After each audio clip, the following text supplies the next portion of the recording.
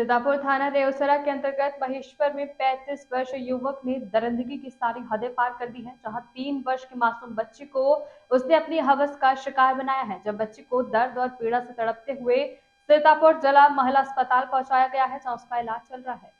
बच्चे को सीतापुर महिला अस्पताल में भर्ती कराया गया है और तीन वर्ष की बच्ची घर के बाहर घूम रही थी। महेश्वर उसे ट्रॉफी दिलाने के बहाने ले गया और उसके साथ बलात्कार कर दिया।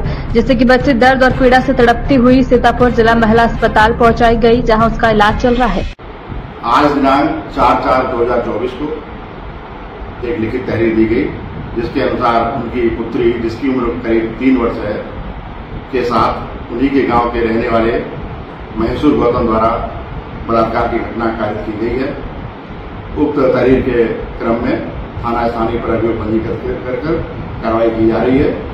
और उल्लेखनीय है कि घटना से संबंधित अभियुक्त को गिरफ़्तार कर लिया गया है। उसके विरुद्ध कठोर कठोर कार्रवाई अमल में लाई जाएगी। घटना के संबंध में विवरण जानकारी करने पर प्राप्त हुआ कि बच्ची अपने घर के पास खेल रही थी और अभियुक्त मौका देख करके उसको खिलाने के बहाने गन्ने के खेत में ले गया और वहाँ पर उसके बलात्कार किया गया।